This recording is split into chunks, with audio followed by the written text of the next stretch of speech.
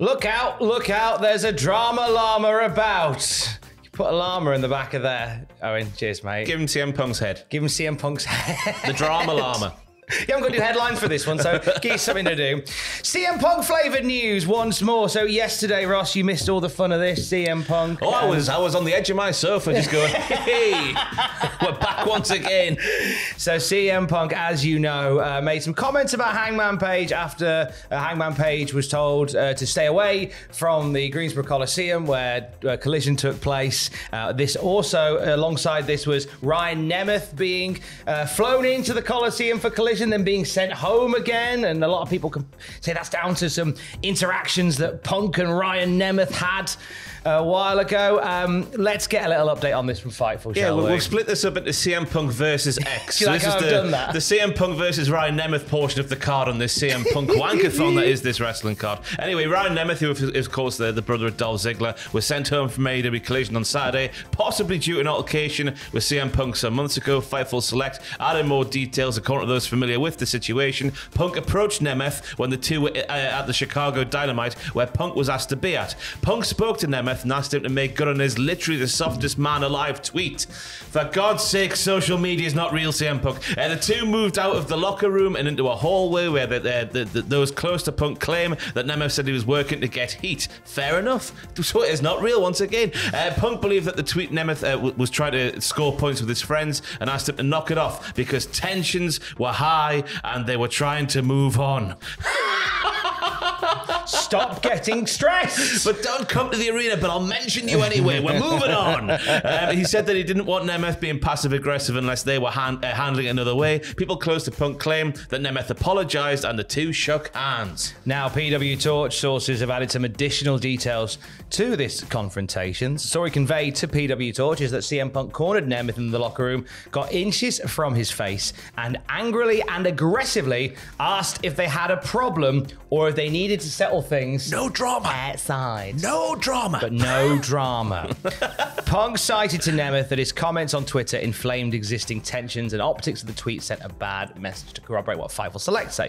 This incident was witnessed by numerous wrestlers and was characterized as awkward and weird, which is what I've been called in numerous social events. I've been called it for eight years now. It's absolutely fine. Uh, back to Fightful. They said that Ryan Nemeth, despite an apparent apology, is a persona non grata at AEW Collision. Uh, they said it was confirmed to us that Punk didn't want Nemeth on Collision, even eating in catering, but no drama, uh, much less wrestling on the show. It wasn't clarified to us if that was because of his tweets or the relationship with the Elite. Uh, we've made an effort to reach out to Nemeth, but he's off social media. Yeah, I believe he's, he's, he's he's deactivated all his socials. As you probably would, I guess. Maybe it is real when it becomes a massive drama. Maybe.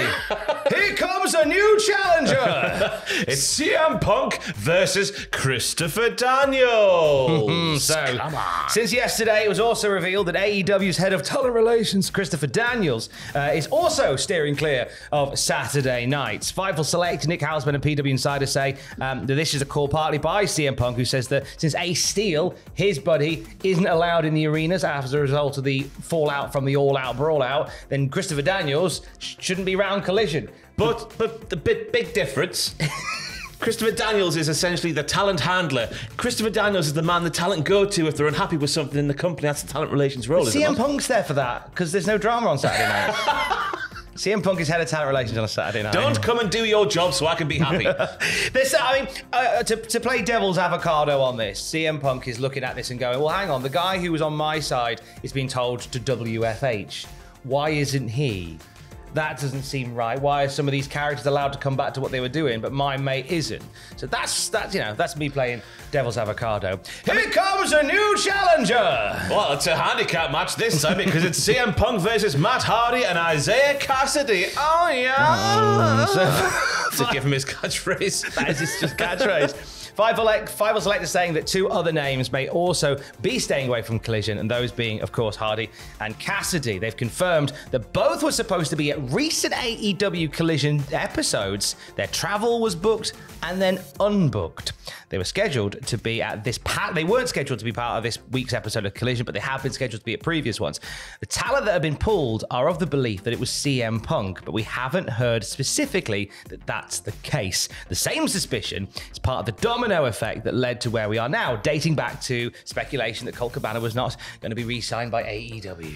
Yes, there's more to this from the Observer. They say that CM Punk camp is claimed it did not get Adam Page or Matt Hardy booted from the recent collision shows, but a number of reports said that he did so with Christopher Daniels, who is the head of talent relations. So we don't know why Matt Hardy and Isaiah Kassidy were weren't there then, I, I assume, I guess. Hmm, it's- it, it might have been CM Punk, but he claims it wasn't. Some are saying that it's Punk because obviously because, because Hardy and Kassidy maybe have a more of a, an alignment with the with the elite than than he. So therefore he's going, okay, I don't want any drama from anybody, so you all stay over there.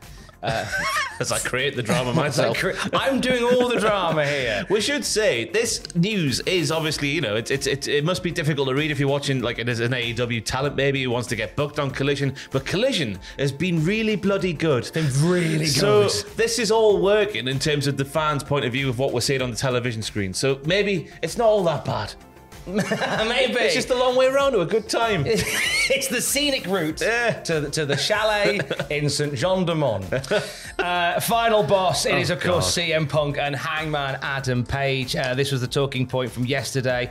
Uh, we've had some additional uh, bits and pieces from this, haven't we, sir? Yeah, PW Insider added some additional context there, saying Adam Page lives locally in the Greensboro area and don't uh, doesn't want to be sent home. Uh, we are told that there was a promo that was to be shot, but it wasn't shot at the arena. Punk Punk's comments obviously fed into the Hangman story. The word making the rounds is Punk felt badly about the comments after the fact. This is what he was saying after the show. Uh, that was making the rounds in AEW, although we don't know whether the two have spoken. Nick uh, Hausman there corroborates that story as well. Uh, just to add in for here, uh, Voices of Wrestling's flagship wrestling podcast give us an update on that just before we came downstairs, revealing that CM Punk has apologized to Hangman for the comments by text message, stating that Punk was, wasn't happy with the way that he delivered his post collision promo. He felt he shouldn't have touched upon merchandise sales. Uh, so Punk did the speech on the mic. He sent Adam Page a little, um, sorry, text, you know. There was, there was a great phrase that somebody used where they said the apology should be as loud as the action. Who was it that said, oh, CM Punk said that? We'll have to say after after Saturday's collision, if he's in the ring going, Hangman! Sorry, pal. Oh, mate. Oh, yeah, just a bit Yeah, of a there's, there's still a Saturday night there as well. Fightful Select also add that Punk claims to people that he still wants to sit down with Hangman Page, Young Bucks, and Kenny Omega, but they refuse. Those we spoke to say that Hangman Page generally avoids the situation and has not been interested in working with Punk in, like, over the last year or so. The situation was not a work on Hangman's end. As of publishing this article, the many on Collision have said that they believe Punk is trying to work himself into an angle. Those close with the elite say that these situations make them want to distance themselves more. It's such an interesting one because there is all the noise from the CM Punk point of view, but there's no real noise from Hangman's point of view. Page has said nothing. He Yeah. has said squat from the beginning, and and that's kind of been his. I think that I think the closest we got to something was when they did they they did a bit on being the elite where Hangman Page was pretending to be distracted backstage with the Dark Order when Punk was calling him out. Yeah. and I don't know whether like. I, I'm not. I- Like I said, we're only here. We're hearing bits from numerous sources, numerous very trusted sources uh, around the business and, and and others about this. But I don't know whether the fact that Page doesn't take the bait is annoying.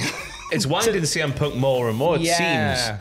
It seems. It's a hard thing to grasp, isn't it, everybody? Mm. Silence is incredibly powerful. Where's Tony Khan in all this? You know, the guy who runs the company. Yeah, so Tony Khan, otherwise known as CM Punk's bitch, was on the Battleground podcast and declined to comment about the situation, but said, "I'm people. I'm glad people are still very interested in our, in our wrestlers and what's happening after the wrestling show. I think I'm going to try and have a couple of great shows this week, but certainly there's been a lot of interest in what's happening in AEW in and out of the ring. Kind of hoped that, you know, we'd be talking about Wembley this week. Not Ryan Nemeth. No disrespect to Ryan Nemeth. a banger performer. No disrespect, but I kind of thought we'd be talking more about Wembley. Yeah, maybe. You know, but hey, what, what do I know? I run a business. Now, PW Torch ran an exclusive report about CM Punk and AEW Collision yesterday with some interesting backstage reactions and observations in it as well. They say Punk has received good reviews for his leadership behind the scenes. He is fiercely protective of Collision being a low drama environment. Not a no drama environment, a low drama, which is his drama and nobody else's drama. No one else's drama, but low drama all the same. Got to be on the dramaometer, ever so slightly. Just uh, just his drama though. of course. Um, which is why he doesn't want wrestlers he perceives as a disloyal, as disloyal or too closely aligned with the elite crew to be backstage at Collision. Cheers, mate. Alanis Morissette's crying. he sees Collision as his show and his chance to provide the type of leadership that he is critical of the executive vice presidents for not providing on Dynamite. But it's extended to Punk that having essentially veto power over who could be present backstage at Collision events. I think the one, and we've said this, Collision's really good. Yeah. It's an odd news video to be making this one because it, it sounds like we're having a go at CM Punk, but in terms of the the, t- the television product and nothing else, we're, we're, we're, gonna. I'm gonna get some horrible messages today from from CM Punk twelve four four. It's happened before. It'll happen again. Ah, come at us, lads. Let's go. Um, no, no, and, and but, but Collision has been really good. Yeah. So I wanted to make sure that we do kind of add a little bit of that. You've got to tell us this bit about Tony Khan. This so, comes from PW Torch. Not us.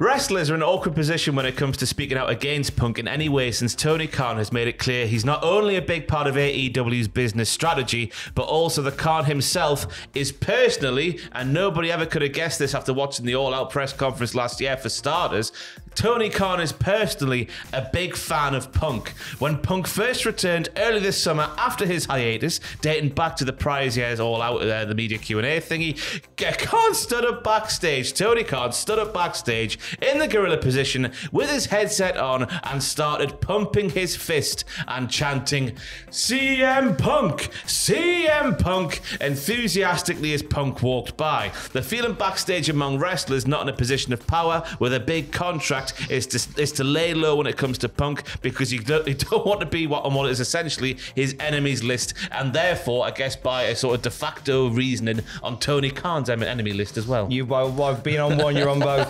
when I read that first, all I could think about was that scene from Cars. Lightning McQueen!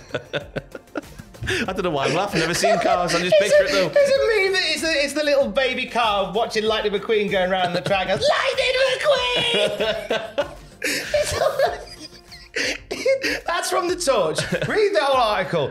It's a thing. Well, I'm glad that we spent the last 10 minutes or so talking about how little drama there is on AEW Collision. What must the elite be thinking if they've if they've read that and that's been corroborated as real by different sources? What are the elite thinking if their boss, who is you know in the middle of the war, he would have to think maybe mm. is going see? Do you reckon he's going be elite, be be elite when they walk in? Do you reckon? I don't think he is. Do you?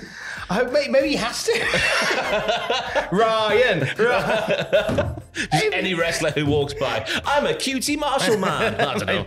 the, ju- the, jury's very much out, and you will have your own opinions on uh, CM Punk and his standing in AEW. Uh, Ross and I did a list of the best AEW heels, unrelated. Uh, you can watch that on the YouTube channel right now. The tier list, I think, is divided. Some people, I think, uh, the way that we did it, I think, is a conversation in itself, isn't it? Yeah, well, we did it just based on crowd reaction, which I thought was the main barometer of what's a heel and what's not yeah, a heel. Yeah, but then but we've had some really interesting messages about people saying maybe that's not the case. It's about actions and reactions and different sort of things like that. So let us know how wrong we are in the comment section of that video. Please we do. can take all the abuse you want to throw at us. Yeah. No drama here. no, no drama here. Do you want to take it outside? You're banned from the arena.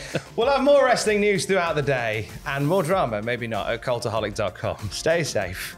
Love you, bye. Oh, I wish the camera wasn't that far away so I could get face to face with you and have a have a have it outside, you know? Have a go at your belt or issues. Just gets face to I don't know, CM Punk's a drama. A drama man. a drama man. The drama llama. There he is. Good, goodbye.